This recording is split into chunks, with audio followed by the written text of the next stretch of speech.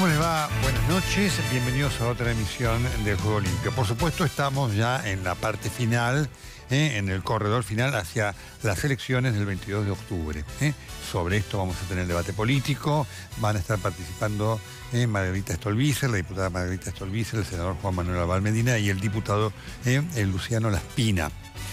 Vamos a tener también un momento para hablar del caso que plantea el hecho por el cual el doctor Elino Cataldo Villar se defendió de un asalto allí en Villa Ballester, lo mató al asaltante.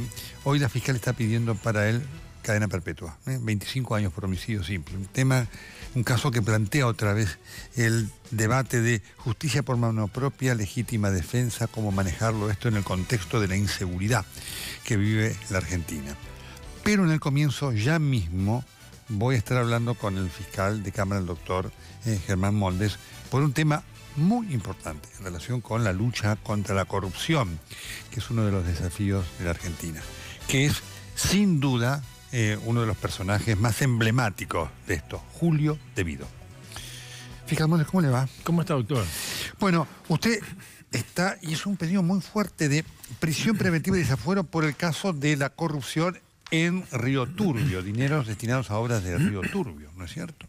Sí, yo recién ahora estoy tomando conocimiento de la causa principal, digamos, de la investigación del delito, porque hasta ahora lo que habían llegado eran, se llaman incidentes, para mm. que eh, el público lo entienda, son unos cuadernillos que son paralelos a la investigación de fondo, y en eso se tratan cuestiones que tienen que ver con la situación procesal de cada uno de los imputados. En este caso, estos cuadernillos, estos incidentes, tenían que ver con la exhibición de prisión. O sea, de los 31 imputados en mm. esta causa, 31... Que es una causa de corrupción de mucho dinero en Río Turbio. 26 mil millones. 26 mil millones. Para obras que no se hicieron. Para obras que no se hicieron, que incluyen inclusive... Eh, eh, también tiene que ver con una especie de tren fantasma que se hizo para la este, campaña. Para la campaña, para que se hiciera un solo viaje con una sola pasajera. Tremendo.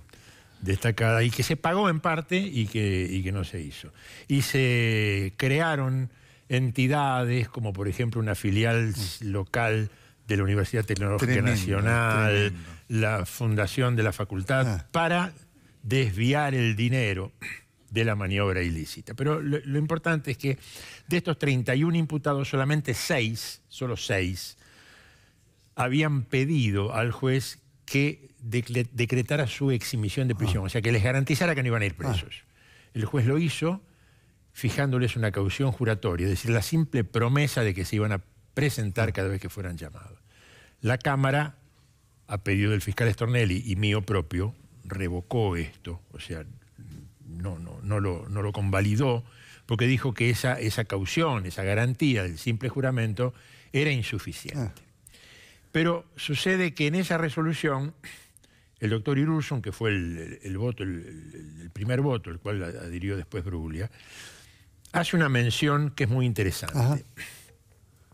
Él dice que, primero, que no es suficiente la caución de ese, el primer eh, imputado que había llegado a, consideración del tribunal, que se llama Atanasio Pérez Osuni, que es ah. el intendente de, de Río, Turbio. Y además que hay que prestar especial atención a aquellos que por mantener vinculaciones con el poder político pueden tener capacidad de influencia. Y entonces yo, él no hace nombres, no, no, no, no dice de quién habla, pero cuando yo estudio esa resolución, yo sí hice nombres. Yo dije, este párrafo tiene un nombre y apellido que no está en el subtitulado, pero que yo lo voy a identificar. Solamente se puede estar refiriendo a Julio Devido, porque es el único que dentro de estos 31 imputados tiene una posición de poder político, es diputado nacional, y tiene además un pasado, donde fue el titular de un hiperministerio durante tres gobiernos constitucionales, que manejó miles y miles de millones de dólares, que ha seguramente mantenido también eh, relaciones de amistad, de mm, conocimiento, con factores reales de poder, empresarios, jueces. En consecuencia, está sí en condiciones de alterar la marcha de la investigación, influir sobre testigos, eh, cambiar la composición de las pruebas, incidir de alguna manera en que lo que se está llevando adelante en la pesquisa no siga su curso normal, sino que encuentre algún tipo de obstáculo. Ese es uno de los motivos que acreditan que se le decrete la prisión preventiva a alguien que está bajo proceso. Estamos hablando de una persona que suma muchísimas causas, muchísimas causas, y en todas ellas yo lo he calificado como el tramoyista de la inversión en la obra pública porque en todas ellas cumple un papel muy similar. ¿Qué es ese? Es el SAR hacia el que convergen los dineros que luego se canalizarán a través de la obra pública con fines delictivos. Entonces pedí que, eh, que para ser detenido se proceda a su desafuero. ¿Qué pasa, mi querido doctor? Hubo un intento, yo lo sé. Sí, sí, estuvimos ahí ese día, ahí, cuando fracasó. Hubo un intento, pero fracasó. Sucede que no había un pedido de un juez ahí. Ahí lo que se estaba tratando era que la Cámara declarara que no podía ser admitido entre sus filas Julio Debido por una situación de indignidad moral. Y la postura de desalojar a Julio Debido de la Cámara de Diputados fue la que ganó la votación. Ah pero no llegó al número mágico de los dos tercios. Y muchos de esos votos negativos, de los votos que lo mantuvieron como integrante de la Cámara de Diputados, tenían como fundamento que esto no provenía de un pedido judicial. Lo recuerdo perfectamente. Entonces, por eso lo que estamos queriendo ahora es que, que, el próximo sí provenga del pedido de un juez. ¿Es consciente que usted con esto produce, no digo un caso testigo general, pero sí para esta situación específica en cuanto a, otros legisladores que pudieran estar judicialmente a futuro tan comprometidos como debido? Yo tengo la sensación y la esperanza, y recién lo hablábamos con, la diputada Stolbiz en un, segundito que hablamos antes de que, de que comenzara el programa, de que estamos asistiendo tal vez a una la inauguración de un tiempo que nos trae algunos cambios, especialmente en la justicia. Entonces, eh, hay que animarse a, inaugurar eh, este tipo de cosas y no se puede detener uno pensando en quiénes van a ser los que van a caer después. Es decir, me parece que el Parlamento no puede ser el área de cobijo de la delincuencia. Y, ¿Usted cree que hoy lo es para algunos? Mm, a mí me parece que muchos lo tienen como un lugar de seguridad, un lugar donde guarecerse ante la eventualidad de que la justicia avance con relación a investigaciones que ya están en curso o investigaciones que se pueden abrir. Y en ese sentido, eh, esto explica muchas de las luchas por integrar las listas de diputados y senadores. Eh, fiscal, eh, por supuesto que no escapa a usted, usted es un hombre que ha llevado adelante un perfil alto en muchas causas, misma y demás. Eh, de alta repercusión y le ha generado todo un costo, ¿no? Porque no toda la familia judicial, familia en el buen sentido, han entendido esto que es lógico, que quien delinque tiene que ir preso. ¿Cree usted que viene un, un tiempo distinto? Me parece que lo estamos empezando a ver. Me parece que lo estamos empezando a ver. Por eso a veces... Mm. cuando se dice, bueno, pero este, este no tuvo esta causa parada tanto tiempo, este no, no, no, no activó. Bueno, pero el asunto es que de ahora en más la cosa empiece a moverse, me parece. algunos nos tocó bailar con la más fea cuando la situación de enfrentarse al poder era más dura. Ahora es un poquito más eh, llevadero. ¿Tiene usted la impresión al abocarse al caso de Vido que está frente a alguien que se creyó un intocable? Me parece que después de tantos años, eh, Nelson, estamos hablando de tres gobiernos constitucionales, 12 años, solamente en el, en el área nacional. Pero en realidad hace 30 años que Debido está vinculado al poder, porque desde 1987 lo estaba como autoridad del gobierno de Santa Cruz. Me parece que después de tantos años se debe crear la sensación de que esto es para siempre y nada es para siempre. Ahora, eh, es un cambio de paradigma eh, muy fuerte, ¿no? Porque eh, obviamente tiene que ver con el corazón. Usted está hablando de alguien que representa el corazón de la corrupción del kirchnerismo.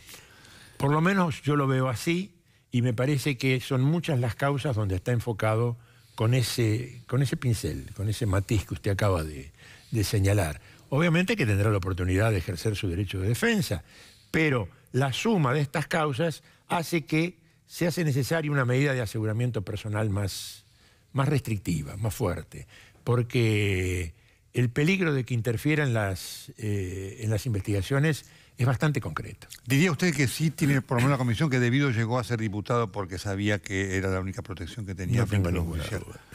No tengo ninguna duda. No le he visto en esos 12 años tendencias a lo parlamentario. Más bien su actitud tenía que ver con la ejecutividad del poder administrador. ¿Le sorprende o le impacta cuando él y o sus abogados hablan de persecución política? No, no, realmente no. Ya se ha convertido esto de la persecución política casi, casi en, un, en una especie de estribillo. No, no, o sea, cada uno que recibe una citación judicial alude a un caso de persecución política. Y lo cierto es que no hay no vemos injerencia del poder político en este momento en las causas, no, no, no realmente no. no. No hay ningún motivo que avale en la realidad una explicación de esa manera, de, esa naturaleza, ¿no?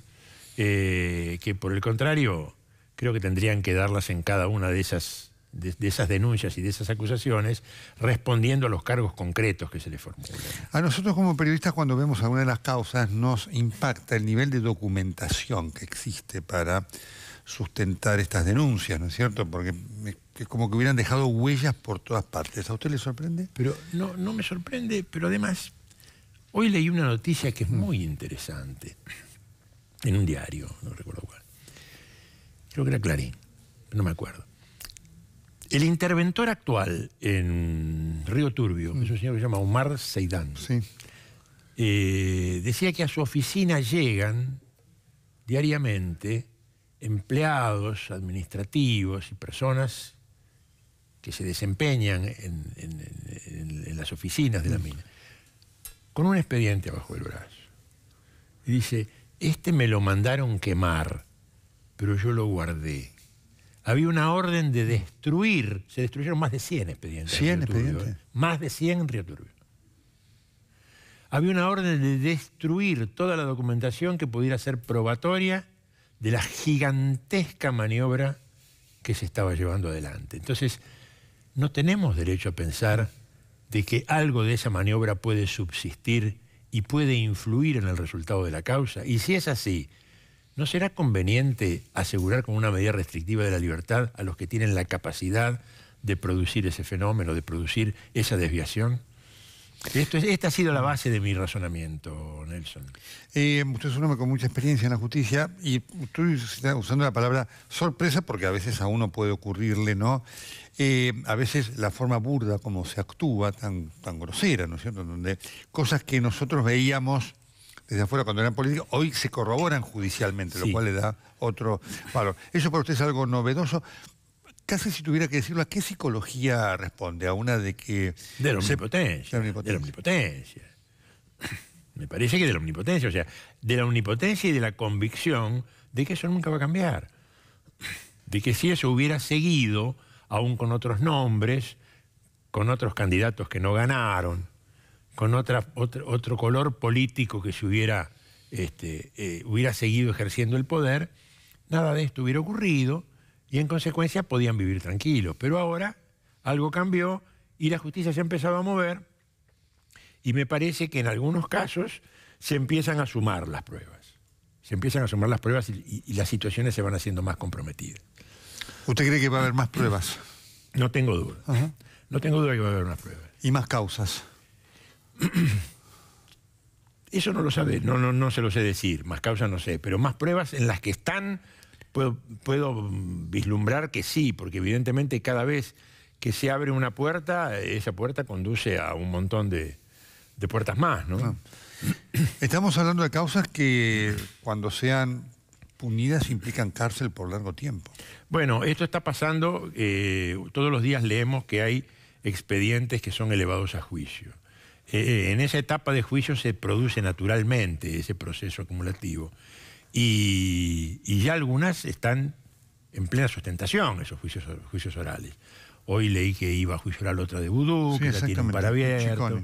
Ayer hubo la, audiencia precisamente debido en la de la catástrofe ferroviaria. Entonces, este, en esa etapa se va a producir seguramente esa, esa acumulación y sí, las penas van a ser más, este, las penas previstas van a ser más, más graves. En otras directamente las penas posibles son graves. Yo hablaba con usted hace unos instantes antes de empezar el programa. Eh, no voy a esquivarle el, bulto a explicar por qué yo no estoy hablando de Nisman, porque ustedes hoy publicaron... En una pregunta para hacerle, porque obviamente muchos a lo mejor esperaban... Este, sí, esperaban eso, pero eh, prefiero decirlo yo y agradecerle a usted la oportunidad de que me permita decirlo al aire.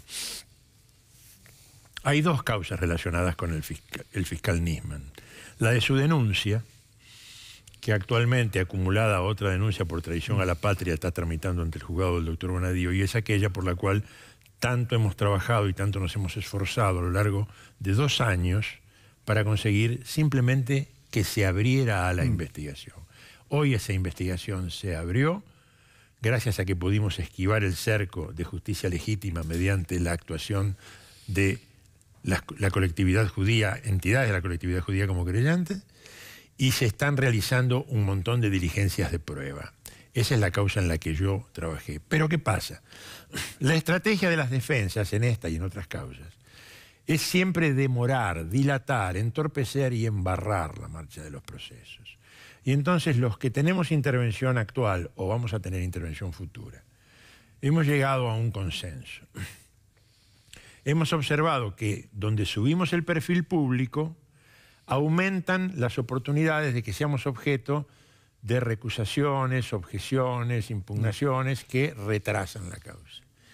La de la muerte de Nisman, que hoy se va orientando hacia la posibilidad de que haya sido un homicidio, por lo cual también peleamos mucho para que se investigara en ese sentido.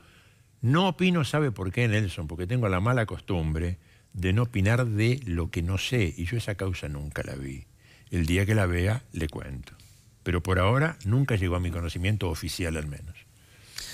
Eh, dos preguntas finales, fiscal, porque obviamente todo esto, más allá de lo que judicialmente represente para debido, seguramente la cárcel, ¿Ha representado un daño? ¿Hay idea del daño que ha representado para la sociedad argentina esto?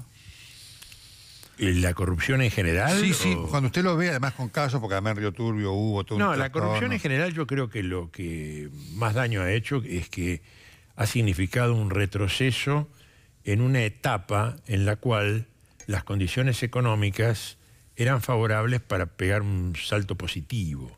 Y en lugar de eso ha generado un retroceso porque la plata se fue y eso difícilmente lo vayamos a poder eh, remediar. Eh, pero para eso lo único que nos queda es impartir justicia para que los responsables de esto paguen sus culpas. El daño es grande. Eh, la pregunta final es, la corrupción en la Argentina es un mal que mata, ¿no? ¿Cómo se siente usted cuando ve estos funcionarios que se han sentido intocables durante tanto tiempo? No, no, no tengo ninguna sensación ni de, ni, de revancha ni nada por el estilo. Eh, creo que agradezco haber tenido la posibilidad de tener vida y salud para poder ver este momento en el sentido de que eh, toda esa sensación de que nunca los iba a tocar la vara de la justicia se ha diluido y ver cómo los que eran sus, socios, sus allegados, sus cómplices, sus secuaces, les van soltando la mano y dicen, yo a este no lo conozco, yo con este nunca estuve, yo no tuve nunca ninguna relación.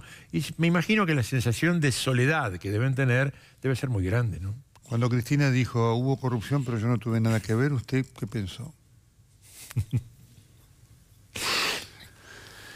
Fiscal Molde, muchas gracias. Gracias a usted, doctor.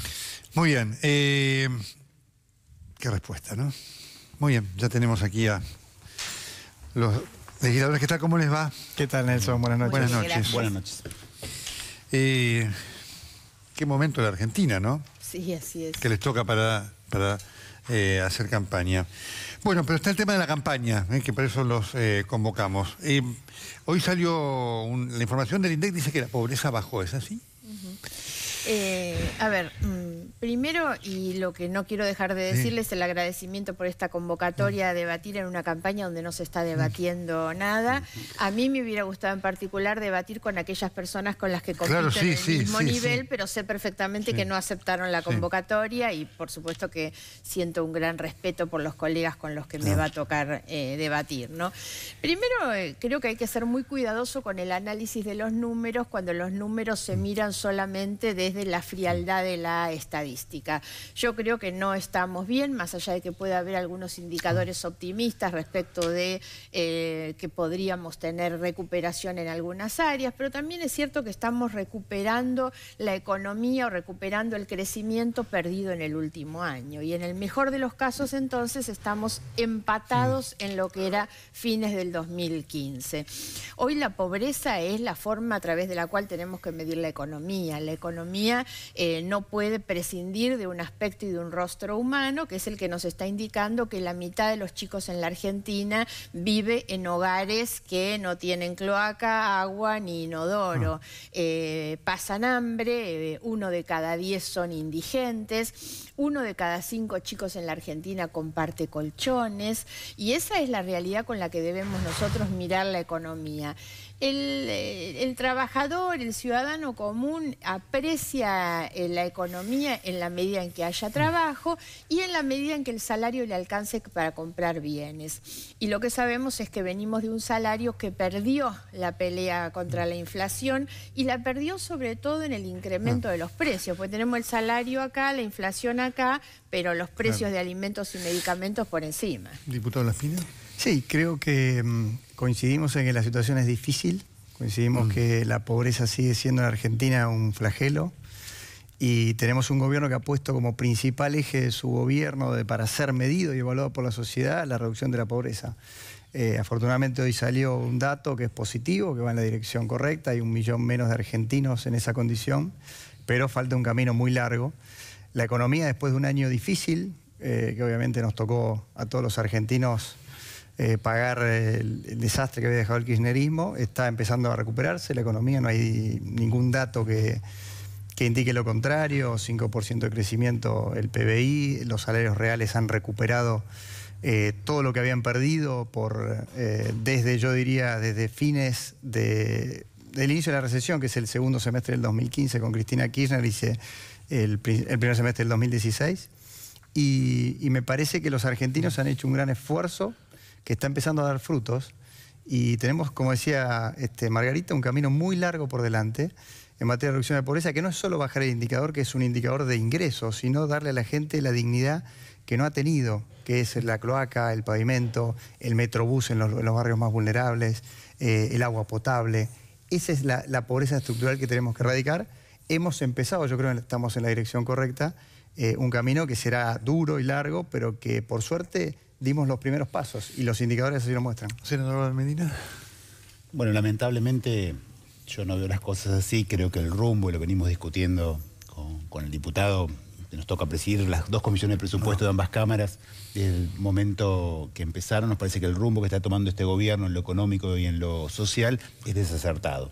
Y creo que si bien hay cierta recuperación este año, es medido frente a un año muy malo como fue el año anterior. Y también, si bien es cierto que había problemas en la economía, el 10 de diciembre de 2015, no los negamos, lo que entendemos que todos esos problemas se han incrementado hoy. Y nos parece que ya casi dos años de gobierno, el rumbo que se perfila es un rumbo de una economía de un crecimiento muy, muy pobre, muy mediocre, se habla del 2%, 3%, considerando que la población crece al 1% anual, haría falta 20 o 22 años para llegar a duplicar nuestro Producto Bruto y por lo tanto es muy difícil combatir la pobreza. Un, un modelo que hace mucha se asienta mucho en el movimiento externo, que está creciendo de una manera muy, muy fuerte, que con las actuales tasas no es un problema, pero puede serlo si esperemos que no ocurra, pero si la, economía cambia, y también un, modelo económico que le cuesta mucho generar empleo y que también genera una distribución muy poco progresiva de la riqueza. Con lo cual, este rumbo nos parece desacertado y nos parece que, más allá de otras discusiones, lo importante que tenemos que hacer después de la elección, obviamente, porque ahora estamos en plena, pleno proceso electoral, es sentarnos en una mesa y poder discutir una verdadera agenda del desarrollo de la Argentina, que luego lo está faltando pasando, obviamente no de hace dos años, sino hace bastante tiempo en la Argentina. Diputado. Sí, no, yo creo que lo que ha pasado en materia de, disminución de la pobreza es un, es un dato muy importante, eh, fundamentalmente porque cuando iniciamos nuestro gobierno la pobreza estaba arriba del 32% y gracias a algunas leyes que votamos en conjunto con Margarita, con, con Juan Manuel, este, como por ejemplo la devolución del IVA a los jubilados, el fortalecimiento de los planes sociales en el presupuesto, digamos, tenemos hoy el presupuesto eh, más alto de la historia en servicios sociales. Eh, y todo eso ha permitido que la pobreza, después de un año muy duro como fue el 2016, no haya aumentado primero y ahora empieza a bajar. Y yo creo que a diferencia de otros procesos de recuperación argentina, este es un proceso mucho más genuino, mm. alentado por la inversión, no hay eh, medidas digamos, electoralistas que estén manteniendo la, la, economía hasta las elecciones y después se va a derrumbar. Por el contrario, todo el mundo coincide que va a haber dos años consecutivos de crecimiento. Y, lo estamos haciendo, como digo, sin ningún anabólico. Es una economía que crece sano, crece en base a exportaciones, en base a inversión, con recuperación del empleo. Eh, más de 200.000 puestos de trabajo que se han creado en el último año. Y, está, está saliendo la economía. No es fácil, es un camino largo, pero no caben dudas de que estamos en el camino correcto. Es una economía que se ha saneado, que no tiene, como decía recién, anabólicos y que apunta a crecer durante dos años seguidos, después de muchos años en los cuales crecía solo en el año impar, el año de elecciones, y caía después de las elecciones. No, primero cuando el gobierno hace esta medición sobre los 210 mil puestos de trabajo creados, hay que ver también la, eh, lo mañoso que es ese cálculo, porque lo cierto es que cuando nosotros tomamos qué es lo que el Ministerio de Trabajo está midiendo dentro de lo que es el crecimiento del empleo, está la parte del sector asalariado, del, del asalariado del sector privado, el asalariado del sector público, el autónomo, el monotributista, y lo único que creció es el asalariado del sector público 24.000 empleos y el monotributista 99.000, mientras que si nosotros medimos a fines del 2015 hemos perdido en el sector privado 42.000 puestos de trabajo. Hay que ser muy cuidadoso con esa medición. ¿Por qué aumentaron los monotributistas? Entre otras cosas porque quieren cobrar la asignación universal que se amplió a los monotributistas o tal vez porque los que perdieron el, el puesto de trabajo en el sector privado se vuelcan hacia el monotributo.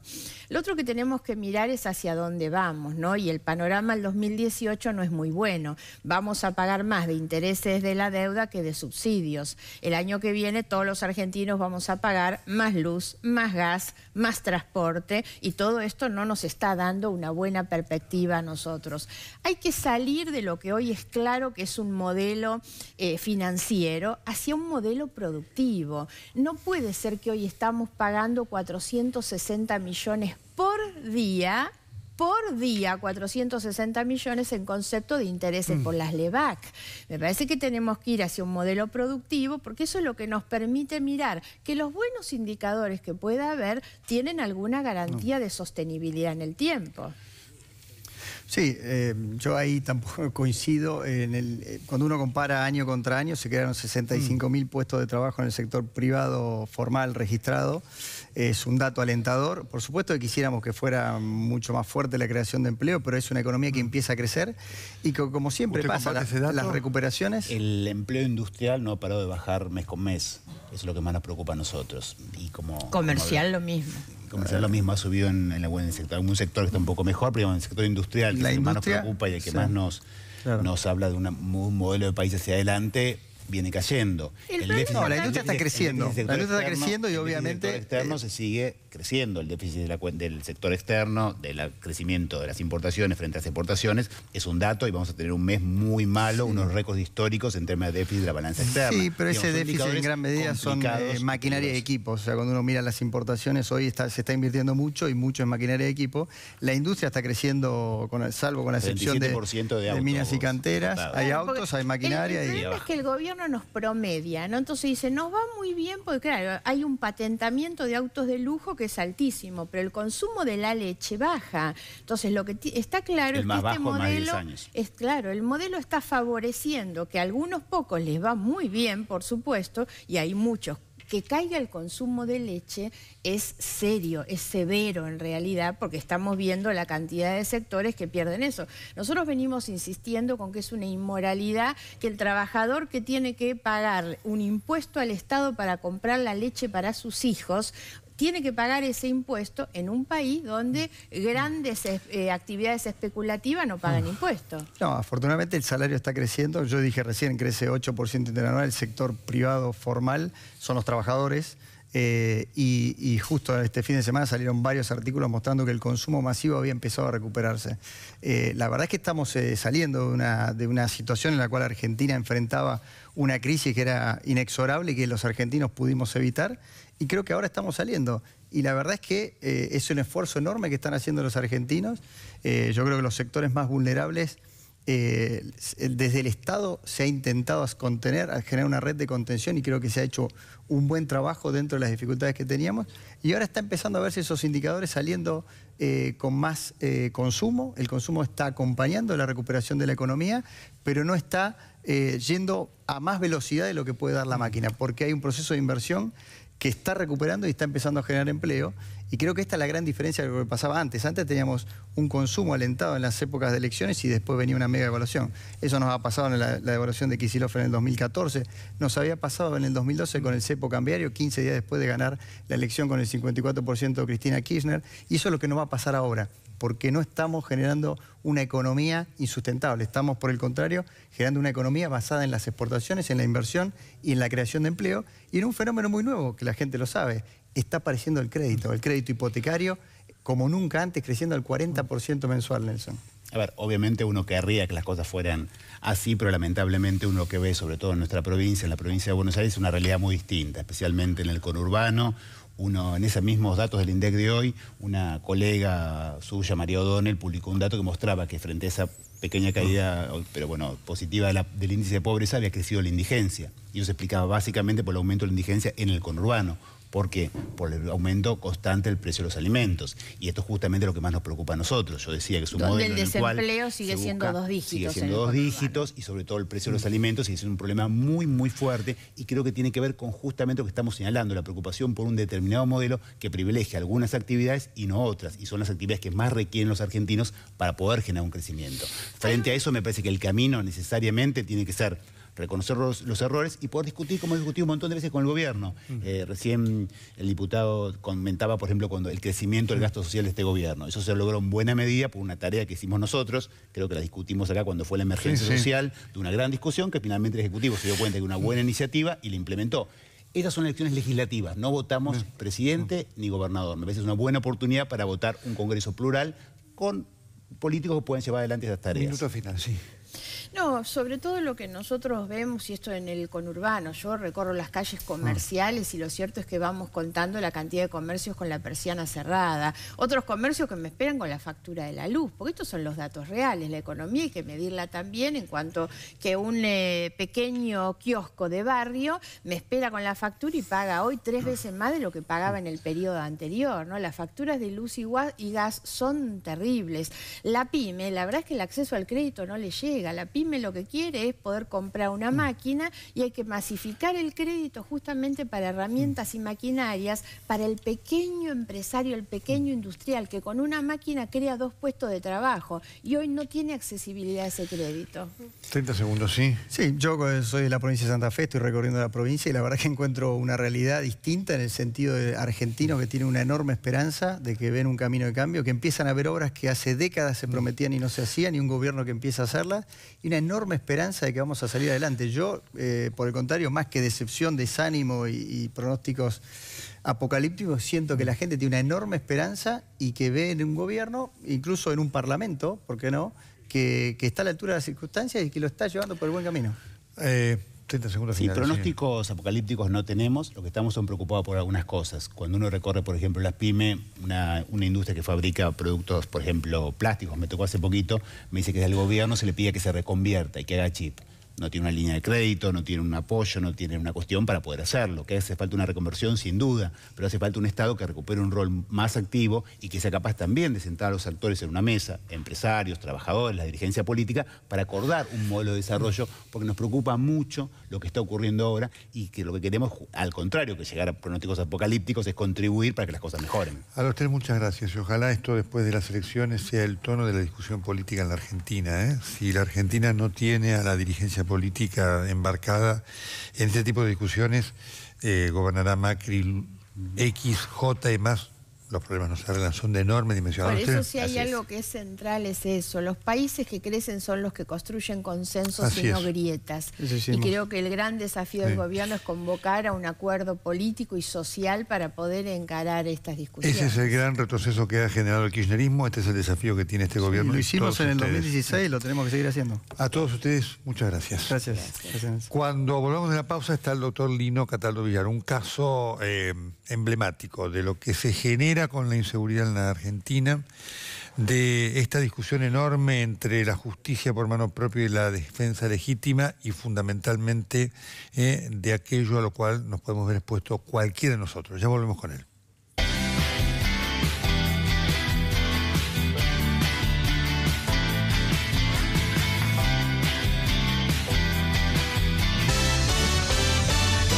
Doctor Lino Cataldo Villar salía de su consultorio allí en la zona de Villa Ballester, en San Martín, eh, y lo asaltaron. Se produjo ahí una escaramuza, quien lo asaltaba tenía un arma, él creyó que tal vez lo iban a matar, fue, buscó un revólver que tenía ahí y mató al delincuente. Conclusión, la causa va a ir a juicio, la fiscal está pidiendo 25 años de prisión para el doctor Cataldo Villar, acusándolo de homicidio. ¿Qué tal, doctor? ¿Cómo está? Sí, buenas noches. El doctor Spiegel, ¿qué tal? ¿Cómo está? ¿Cómo te va? Buenas noches. ¿Cómo está usted? No puedo decir bien, doctor. No, es imposible en este momento decir bien. Hace bastante tiempo que no digo bien. Eh, me ha cambiado, me ha cambiado totalmente la vida.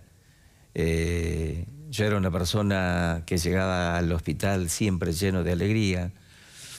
Mis compañeros todavía se admiraba de esa actitud positiva que yo tenía eh, frente a la vida y en este momento uno tiene una carga muy pesada encima.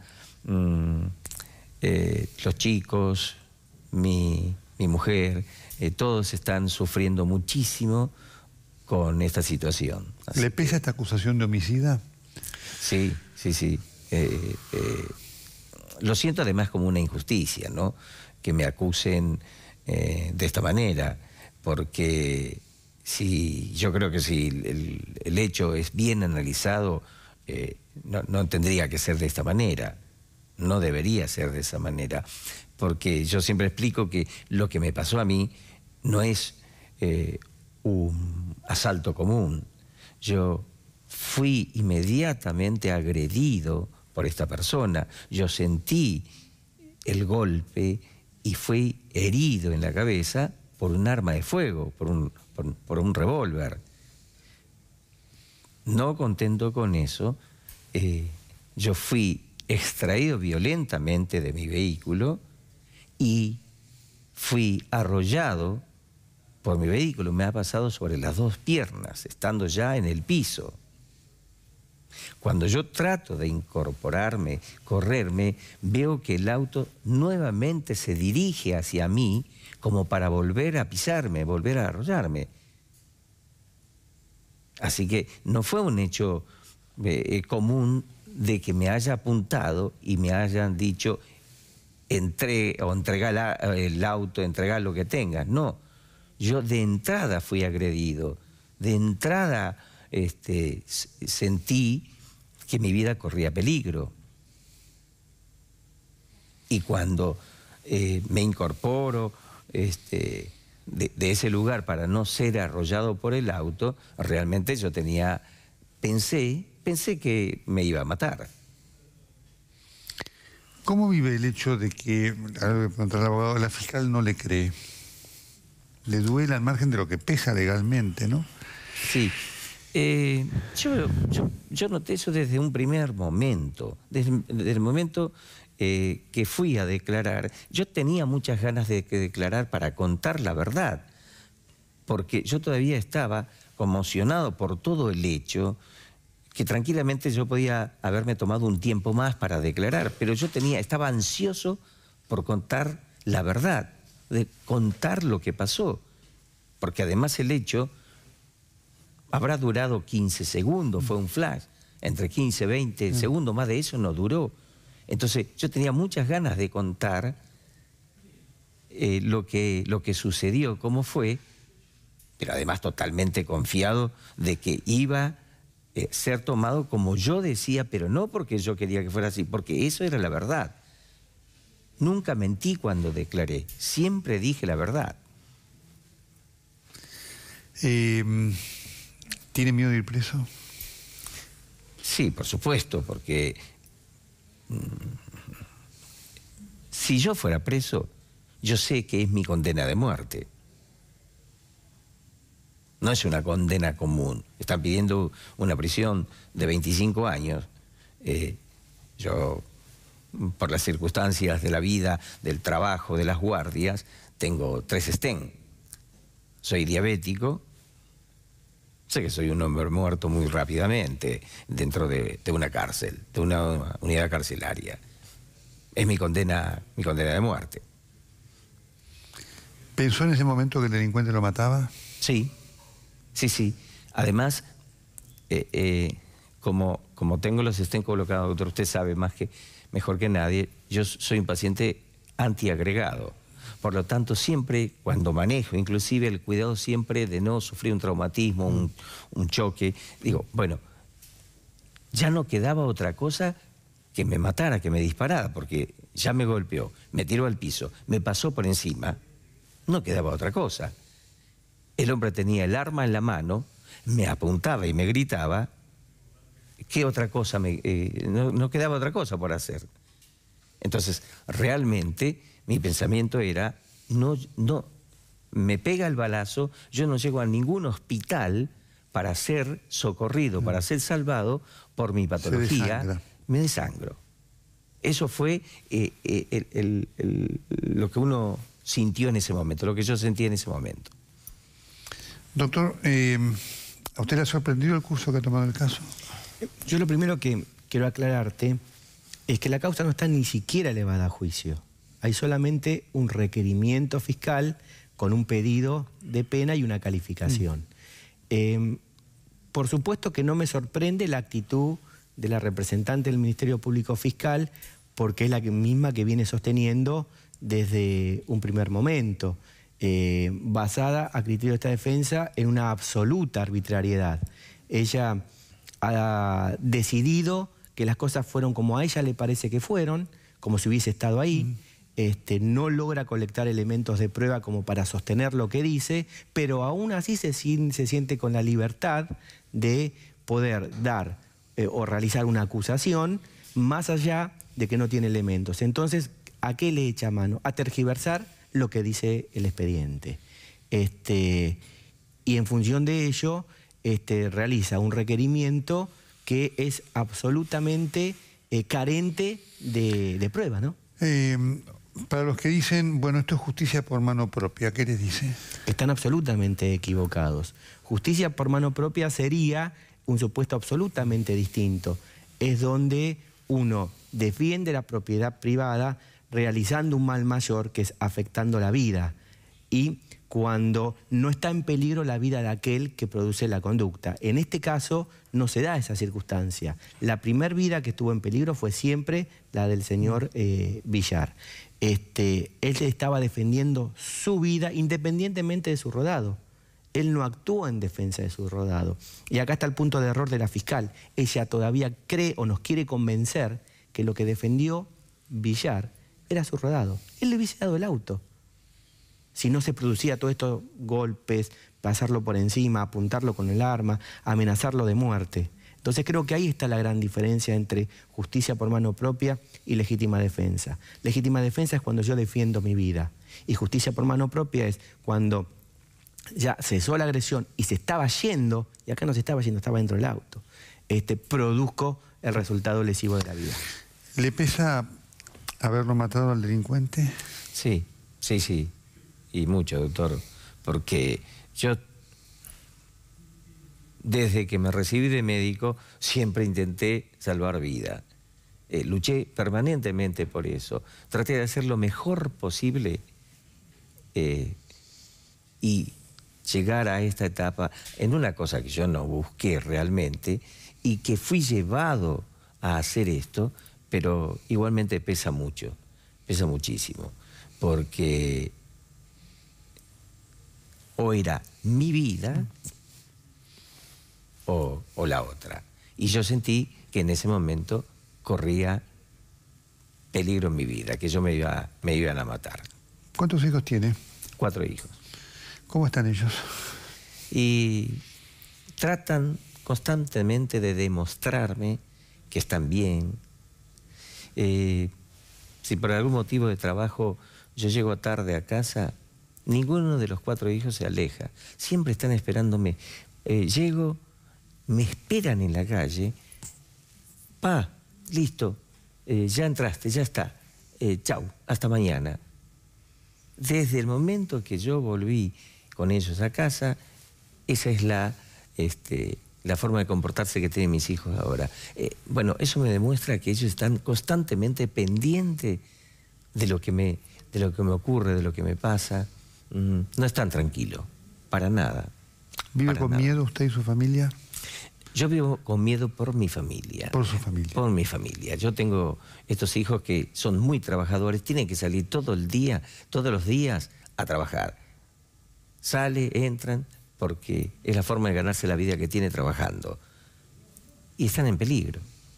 Están en peligro porque nosotros, ellos, han sufrido amenaza de muerte.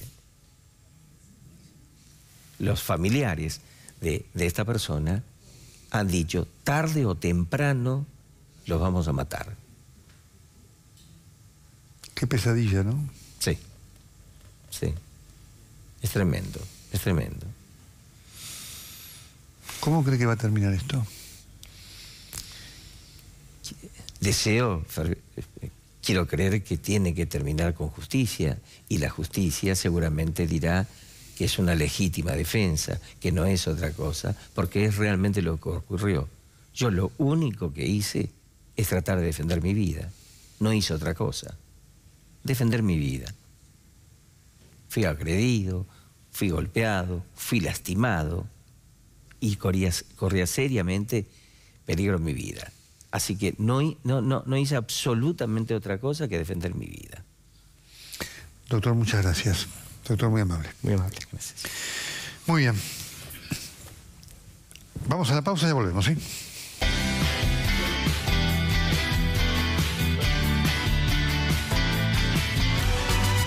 Dijo Cristina Fernández de Kirchner en la nota que le dio al destacado corresponsal del país, el diario del país en la Argentina, Carlos Cuev. Obvio que hubo, es innegable en que hubo corrupción en mi gobierno, dijo Cristina Fernández de Kirchner. Eh, pregunta, pregunta que le hago a la señora expresidenta.